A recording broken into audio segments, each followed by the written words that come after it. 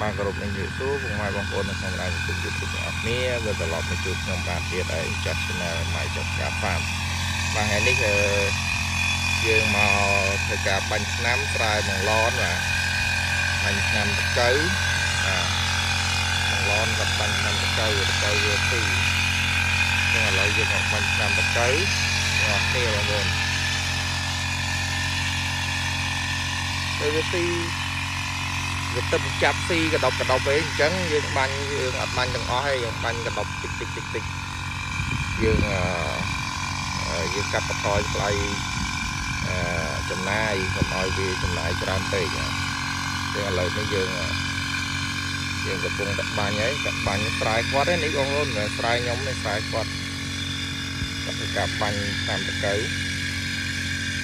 យើងបាញ់នៅពេលសៀលម៉ោងអឺ ម៉ោង2ម៉ោង3ណាម៉ោង3សៀលម៉ោង3អញ្ចឹងយើងបាញ់សម្រាប់ពពួកតកៅកាត់ស្លឹកអានេះគេហៅតកៅកាត់បំពង់អាតកៅកាត់បំពង់បាទអញ្ចឹងស្រូវបង្លនមកដល់ថ្ងៃនេះគឺមានអាយុកាល40 2 43ថ្ងៃហើយបងប្អូនយើងដល់ពេលត្រូវបាជីផ្ដាច់ហើយបាជីផ្លែផ្ដាច់ហើយប៉ុន្តែដោយសារតែម្ចាស់គាត់ថានៅចង់បូមទឹកតិចសិនអញ្ចឹងយើងក៏ឲ្យគាត់បូមទឹកតិចសិនបូមទឹកតិចហើយបានខ្ញុំបច្ចេកទេសឲ្យគាត់បាញ់អបាជីផ្ដាច់បាទហើយស្រូវរបស់គាត់ឥឡូវនេះត្រឹមជិតត្រឹមចង្កេះហើយបងប្អូនដើរទាំងស្លុកទាំងអីផងដើរចប់ត្រឹមចង្កេះហើយអញ្ចឹង យើងឃើញថា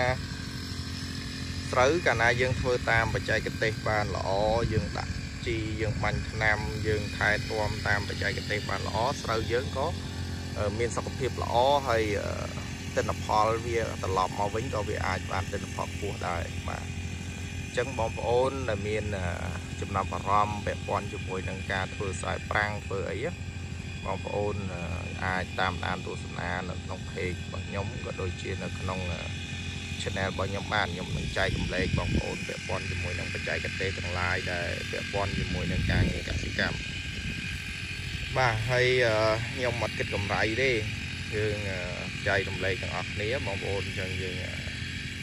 ធ្វើការរីកចម្រើនជាមួយគ្នាបាទអញ្ចឹង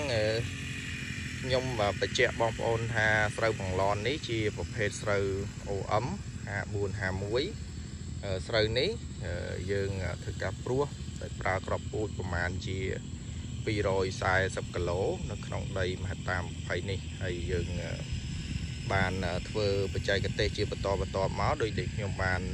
ធ្វើវីដេអូបន្តបន្តចែកជូនបងប្អូនអញ្ចឹងណា ចឹងបងប្អូនដែលគាត់បានតាមដានទស្សនានៅក្នុង channel ខ្ញុំគាត់ប្រកាសជាបាន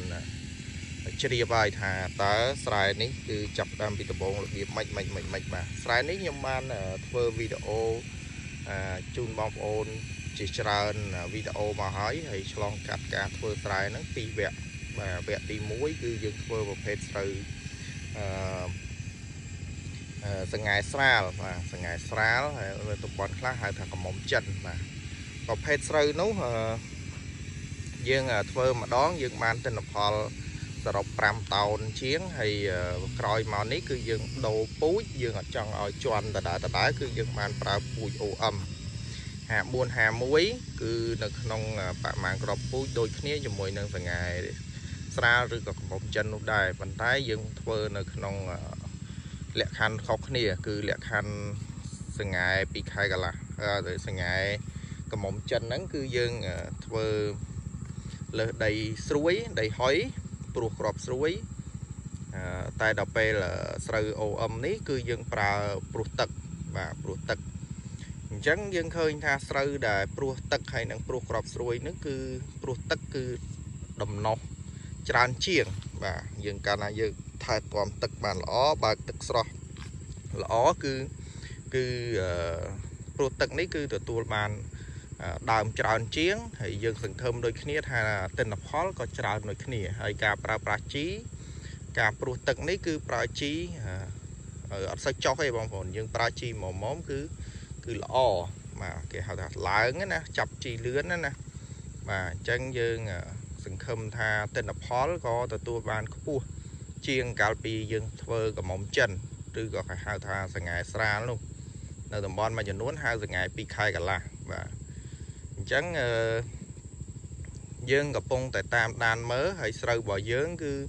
ចាប់ផ្ដើមឡើងថ្នាំងមួយហើយបងប្អូន គឺបានថ្នាំងមួយហើយអញ្ចឹងយើងទៅបាជីផ្ដាច់ហើយសម្រាប់ការយល់ឃើញរបស់ខ្ញុំនៅពេលដែលថ្នាំងមួយគឺយើងបាជីផ្ដាច់អញ្ចឹងខ្ញុំឲ្យគាត់បាជីផ្ដាច់ប៉ុន្តែគាត់រវល់គាត់អត់ទាន់បានបាចហើយយើងសង្ឃឹមថាតិចទៀតយើងបានបាចហើយហើយយើងនឹង បន្តតាមដានតទៅទៀតខ្ញុំនឹងធ្វើវីដេអូចែកជូនបងប្អូនទស្សនាតទៅទៀតបាទស្រូវរបស់យើងនេះគឺយើងប្រើជីអស់អឺ3ករងហើយ3ករងហើយយើងថាឲ្យយើងបាជីផ្ដាច់នេះយើងប្រើ3ទៀតអញ្ចឹងមកតាម20នេះយើងប្រើជី6ករងស្មើនឹងជី300គីឡូបាទហើយយើងប្រើថ្នាំពៅ2ដងថ្នាំពៅធម្មជាតិដែលខ្ញុំផលិតខ្លួនឯងហើយ ឥឡូវតកៅស៊ីយើងបាញ់ថ្នាំតកៅតែថ្នាំតកៅនោះគឺយើងបាញ់ថ្នាំក្តាមប្រភេទថ្នាំក្តាមឬក៏ថ្នាំខ្យងបាទបងប្អូនយើងចំណាយតិចហើយប្រសិទ្ធភាពរបស់វាដូចគ្នាអត់ខុសគ្នាពីថ្នាំតកៅរបស់ក្រុមហ៊ុនទេអញ្ចឹងនេះសសហ្នឹងយកទៅតកៅស៊ីអញ្ចឹងយើងក៏បាញ់វាហើយដើមស្រូវរបស់យើងគឺវាចាប់ផ្ដើមរិចដើមប៉ុណ្ប៉ុណ្នេះឯងបងប្អូននេះរិចដើមធំធំហើយអ ញ្ចឹងវាដល់ដំណាក់កាលដែលយើងទៅបាចជីប៉ុនជីផ្ដាច់អីបាទអញ្ចឹងខ្ញុំគិតថាខ្ញុំធ្វើបច្ចេកទេសឲ្យគាត់នេះគឺចង់ឲ្យគាត់ទទួលបានទិន្នផលច្រើនបាទអញ្ចឹង